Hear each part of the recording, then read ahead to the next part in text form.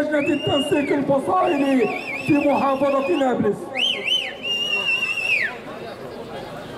شكرا للأخ محمد أمين سر إقليم فتح في محافظة نابلس.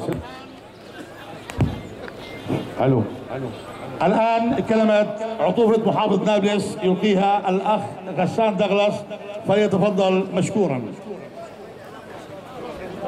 بسم الله الرحمن الرحيم. من المؤمنين رجالا صدقوا ما عاهدوا الله عليه.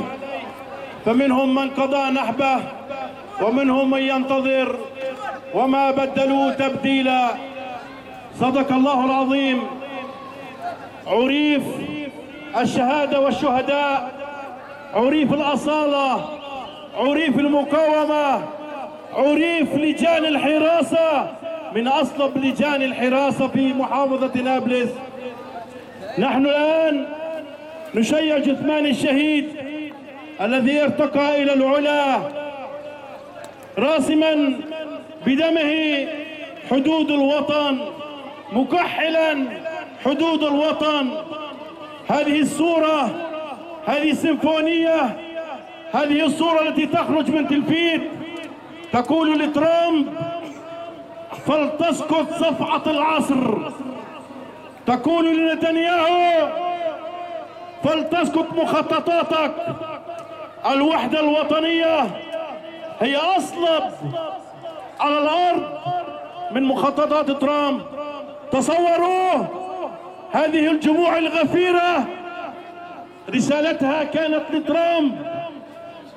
أن الشعب الفلسطيني ملتف حول قيادته الشرعية. أن الشعب الفلسطيني الذي قالها في مجلس الأمن 190 129 دولة مع دولة فلسطين.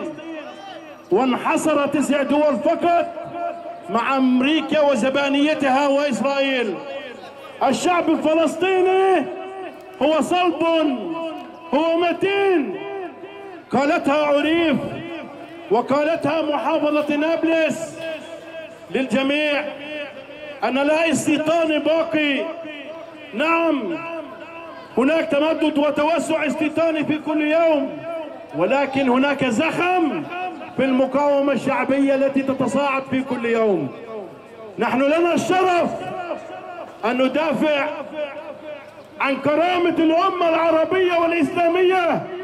لنا الشرف الشعب الفلسطيني له الشرف أن يدافع عن نصر الرسول.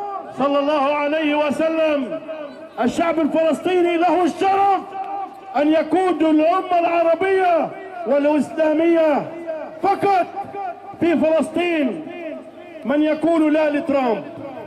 ارفعوا رأسكم فقط في فلسطين عندما قالها سيادة الرئيس أبو مازن لا لترامب ولا لأوباما من قبله.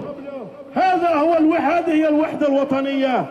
هذا هو هذه هي الرسالة السياسية. رسالتهم بالأمس كانت قتل للشهيد ولكن رسالتنا اليوم هي لحكومة نتنياهو وترامب من كل حناجر المجتمعين والمشيعين. قالت فلتسقط صفقة العصر فلتسقط صفعة العصر. نعم للوحدة الوطنية نعم للوحدة الوطنية.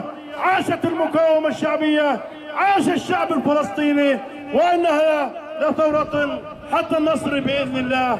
وشكرا. شكرا للاخ